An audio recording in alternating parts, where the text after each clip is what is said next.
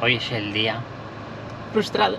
de mi Hoy es el día del no. Going back to my old hometown, picking up the years I leave behind. Getting in my car, I drive as memories fly by. Buenos días, chicos. Buenos días desde el paraíso. Amanece en el paraíso. Seguimos en la ventana. Eh, vamos a exprimir las últimas horas antes de irnos a la capital de La Baja, que es La, la Paz. La paz es la que tenemos aquí. que ahora vamos a hacer una cosa que es súper relajante y súper bonita. Vamos a dar un paseíto por el bosque de cactus. Por lo visto nos han contado que hay, hay unos senderos que tienen un recorrido de unos 24 kilómetros aproximadamente. Así que puede ser que acabemos, eh, no sé, Y nada, y que si nos perdemos, que mandemos la localización, o sea que riesgo de Chiapas. pérdida. Puede ser que acabemos en Chiapas. Eh, este sitio es súper salvaje. Desde que llegas, te quitas, de verdad, que te quitas los zapatos y te pasas todo el día descalzo. Entonces es una auténtica maravilla. ¿no? Yo no me he puesto, o sea, me he visto porque gente, Claro, nos, pero calza- nos calzamos ayer para ir a cenar. Que nada, vamos a aprovechar nuestras últimas horas aquí, vamos a dar el paseíto por el bosque de cactus y nada, una cosa, aunque aquí sea temporada baja, o sea que si entráis a bichar en Google os pondrá, es temporada baja, es temporada baja para hacer kite. Sí, porque aquí esto desde octubre hasta abril, aquí hay vendaval. Y por lo visto esto se pone hasta arriba de, de gente haciendo kite, tanto para aprender como para todo. Y se está cogiendo además, está cogiendo nombre a nivel internacional. Así que pensamos que en breve va a hacer ¡Bum! Y luego una cosa, si... mm, Una cosa que os iba a decir que se me ha olvidado. Tic tac, tic tac, tic tac. ¿Habéis visto los pelícanos que hay por aquí? No, Hemos no, visto no, Ahí, ahí en el río hay un tronco que parece un cocodrilo, pero no lo es.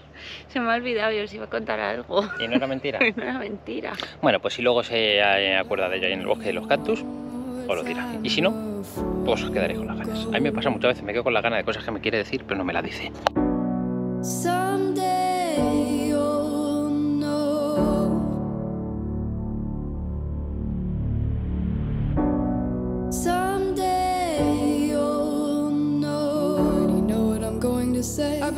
This way for far too long.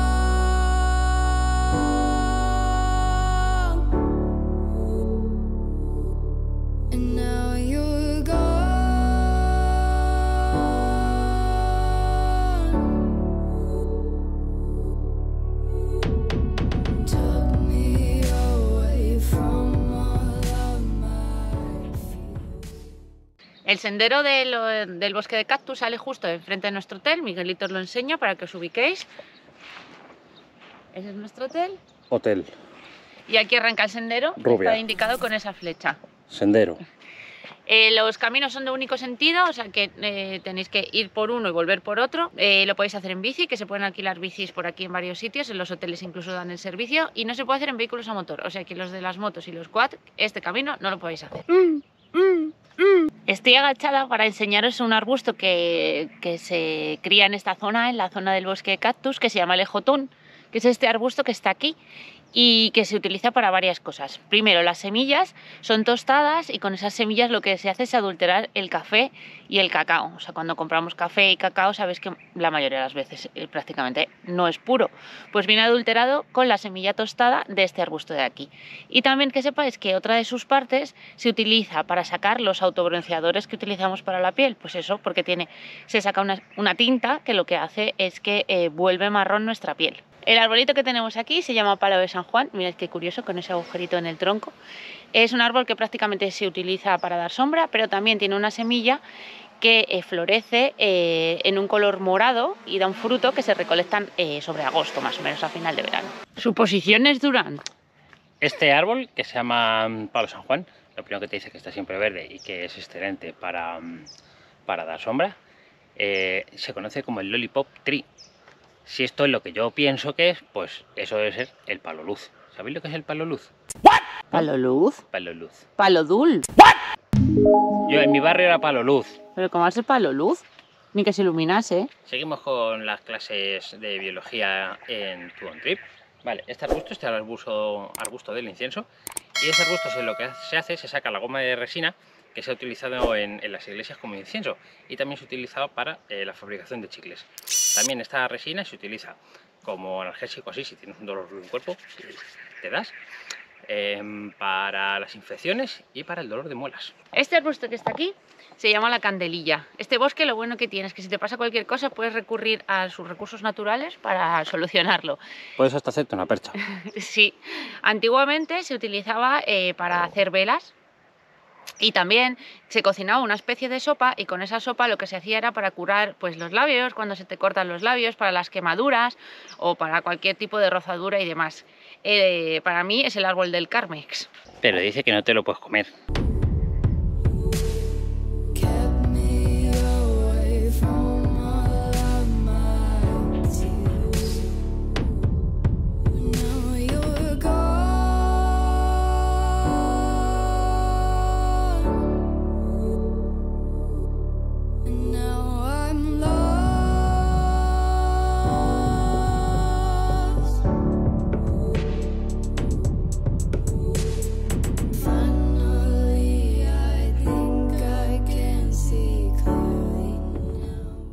Para que os hagáis una idea de lo grandes que son los cardones, hemos puesto un modelo estático al lado de una rubia. Esta señorita es una rubia que mide 1,75 m.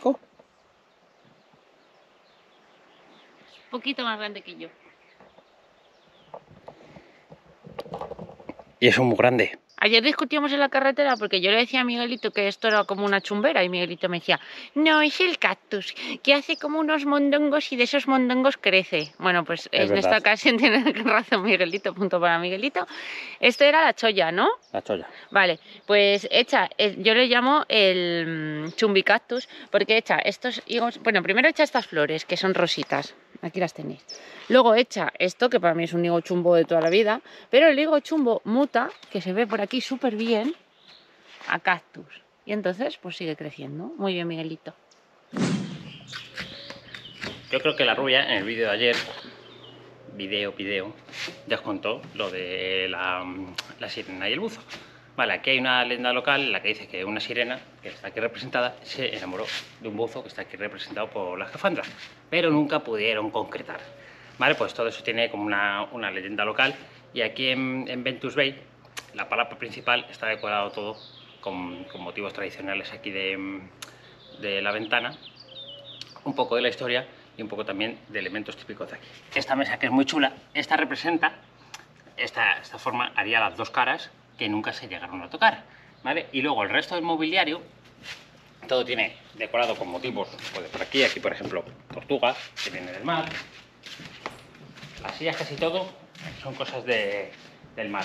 Y luego las paredes está, poco, está un poco contada pues como un poco la historia.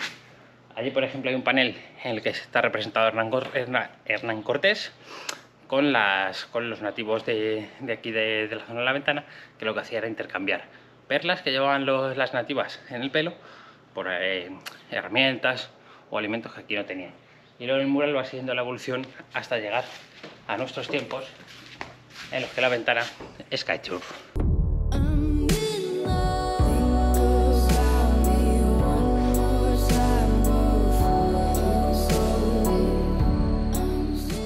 Lo que acabáis de ver, que es el techo de la palapa, el centro de la palapa, sería una flor de vientos, que es el emblema del hotel, que significa viento de la, de la bahía en latín. Eh, todo lo que os ha contado Miguelito de las historias locales y demás, en breve van a instalar unos códigos QR en las paredes y bueno, pues vais a poder clicar ahí y conocer la historia más en profundidad.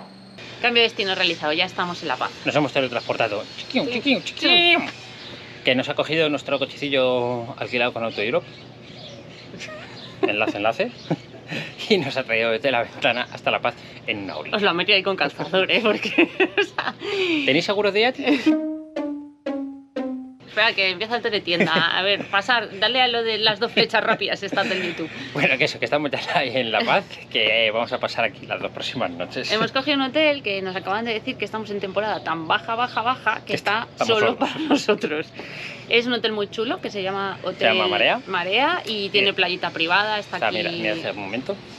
Ahí podéis ver nuestra chiqui playa. Tiene playa privada, tiene alojam- o sea, alojamiento y desayuno incluido. Tiene glamping. Y tiene glamping si os animáis.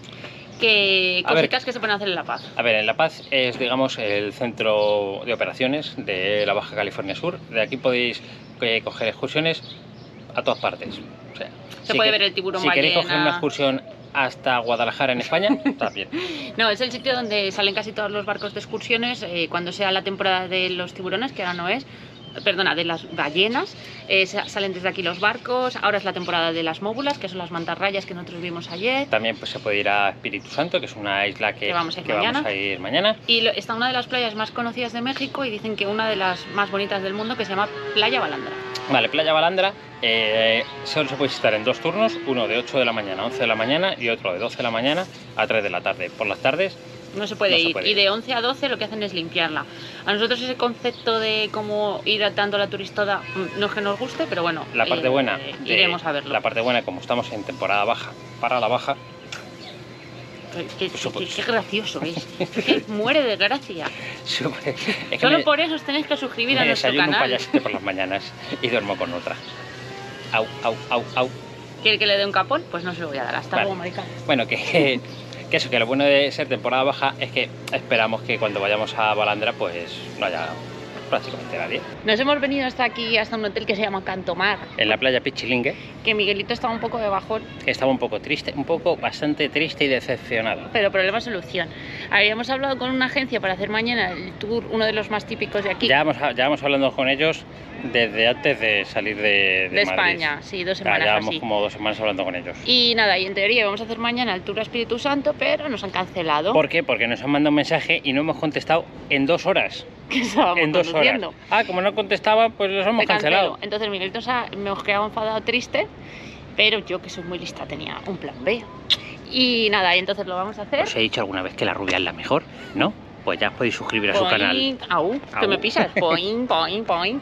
Que nos hemos venido, yo tenía siempre otro plan y nos hemos venido aquí, lo vamos a hacer más barato y bueno, pues nada, 1.500 pesos por persona por pagar en efectivo y que sepáis que si vais a hacer esta excursión tenéis que comprar un brazalete porque vais a entrar en un área protegida de la biosfera. Es un parque natural. Y entonces se paga luego aparte 100 pesos. 100 pesos por persona que es Vale, la excursión, nada. el sitio lo has dicho, se llama Cantamar.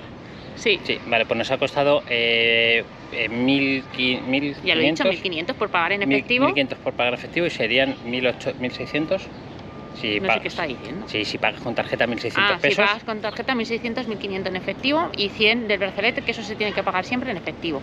La vamos a hacer mañana, salimos a las 10 y media de la mañana y y... tenemos que estar media horilla antes. A ver, os recomendamos este sitio. Yo he estado mirando un montón en internet, pero os lo recomendamos porque está en el área del puerto y tiene aparcamiento privado. Porque si vais a la- al malecón, Ahí hay que buscarse la vida y dejar el coche en la calle. eso es. Vuelta a los caminos.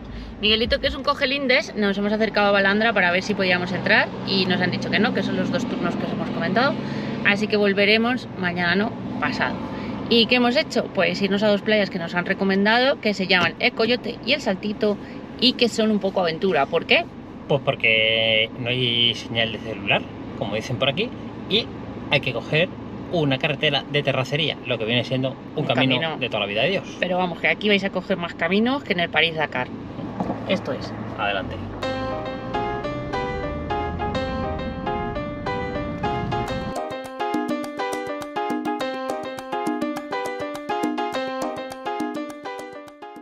Ya me está timando, ya me está timando. Me ha dicho que son 8 kilómetros por terracería y ya hemos visto un cartel que pone 15. Ah, Lo ha dicho Google Maps. timador. Bueno, pues tras una larga travesía por el desierto, rodeado de cactus y de buitres, no sé, de pájaros que nos sobrevuelan la cabeza, diciendo, estos dos incautos, no los vamos a comer, pues hemos llegado a esta playa, que yo pensaba que íbamos a estar solos, y no. A ver, mucha gente no hay, pero hay gente. Que, mm, Bueno, hay cuatro co- coches en un kilómetro. algún kilómetro más tiene esto de playa. Bueno, a ver, cosas buenas, cosas malas de las playas de México. Cosa buena, puedes llegar hasta la misma orilla con el coche. Cosa mala, puedes llegar hasta la misma orilla con el coche. Tú estás tumbado al sol, te- llega un señor con una pick te pasa por encima. En las que no puedes meterte en lo que es la arena, lo que es la playa, playa, playa, tienes un cartelito como ese que tenemos aquí. Que te lo indica porque suelen ser eh, playas en las que anidan las tortugas. Así que si venís con el coche, tened cuidadito. Lo bueno de La Paz es que hay playas para todos los gustos. Si sois de los que os gusta estar en el chiringuito, tomándote el coco frío, el cóctel y demás, hemos visto que hay varias, eh, con restaurantes, palapas, sombrillas y demás. Y luego también tenéis este tipo de playas que son completamente paradisíacas, desérticas, porque aunque Miguelito se queje porque ahora se ha vuelto el chivarita de la soledad, No, es que hemos llegado aquí, hay gente. Y no es por eso. No me, no me gusta que hay plásticos en la arena. Eso es verdad. Cuando vayáis a la playa siempre os tenéis que volver con más cosas de las que habéis ido. Eso apuntadito. Que pues esto, existen este tipo de playas paradisíacas donde podéis estar prácticamente solos, aunque el siguiente, yo por ejemplo que soy miope no le veo.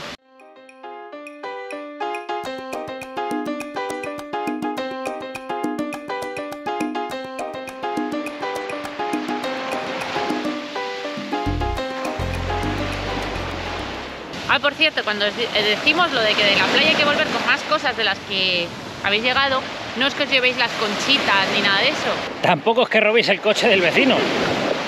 es que os llevéis la basura. La basuraleta, si encontráis más basura, os la lleváis. Eh, cuando salgáis del aeropuerto, os lo digo por si os pica así el, ay, me voy a llevar unas semillas de cactus, ay, me voy a llevar esas conchitas. Que sepáis que hay que pasar un escáner que es solo para que no saquéis ni plantas ni ningún tipo de fauna de aquí de la Baja California. Hoy es el día Frustrado. de mi frustración. Hoy es el día del no. Hemos llegado a la playa del Saltito que nos había dicho la chica del hotel, que era una de las playas que le gustaba y como nosotros tiramos de recomendaciones locales, pues nos hemos venido a la playa del Saltito. Y la playa del Saltito, si quieres darte un bañito, tienes que dar un saltito a la vallita, porque está cerradita. A ver, hay un cartel que pone que el acceso es solo peatonal, que no sé cuánto será. A ver, yo no creo que sea mucho, eh, que se ve la playa como al final, pero que es de 9 a 5 y son las 5 y 9 minutos. Tú on trip, rozando el drama. A mí no me entra en la cabeza que una playa tenga horario de 9 a 5, o sea, de 9 a 5. O sea, esto nos lo hacen en España y sabéis lo que hacemos, ¿no? Quitamos la valla, protestamos una acampada, dejamos de comer. O sea, esto en España es impensable. Encadenamos a la valla que está que cierra las queso a la playa.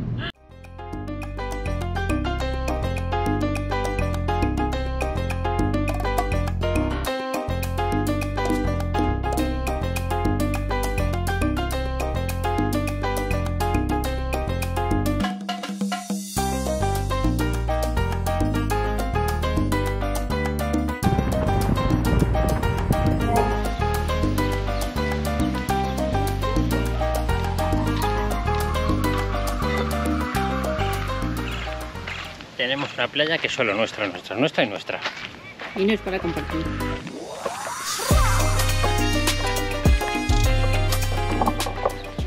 Después de descubrir que aquí en La Baja hay muchas playas, bueno, en La Baja no, en La Paz, porque el resto de sitios de donde hemos estado no hemos visto en ningún momento que las playas tuviesen horario, pero aquí sí, pues nos hemos decidido venir a nuestra playa, que como os hemos comentado estamos solos en el hotel, por lo tanto es, bueno, es playa privada del hotel, pero ahora sí que es privada, porque es solo para el Miguelito y para la rubia. Para el señor que viene y para el señor que viene detrás de la rubia.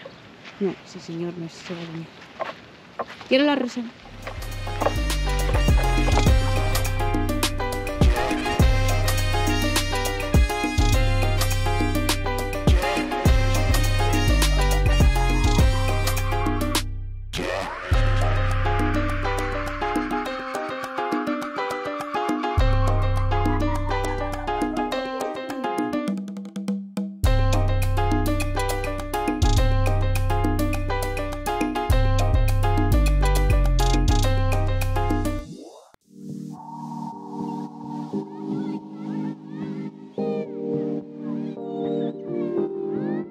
subscribe